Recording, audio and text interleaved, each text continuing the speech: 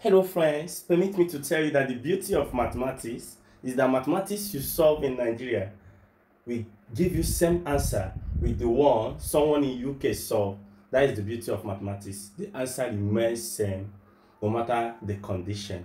Now today, I want to profile a solution to angles formed by the hands of a clock in any given time. Now in examination condition, when you keep drawing your clock, trying to count the angles, it's time consuming. What do you do? With this formula,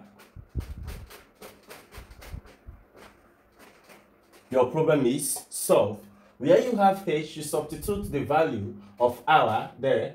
When you have your minute m, you substitute the value of the minute hand there. Please note, neglect the negative sign. Any answer you got, we go with the absolute value of any answer. Have any answer that is greater than 180, all you need to do is to subtract it from 180, then to get your answer. Remember, we are asked the minor angle. Now let's solve this. 30 bracket 11 minus 11 over 2 bracket 50.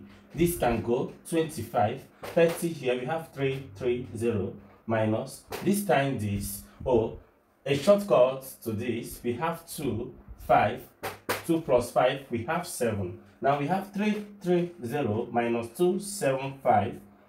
Oh, here we have 2, carry 1, 5. We have 2, carry 1, 5. We have 55 degree. That is the answer.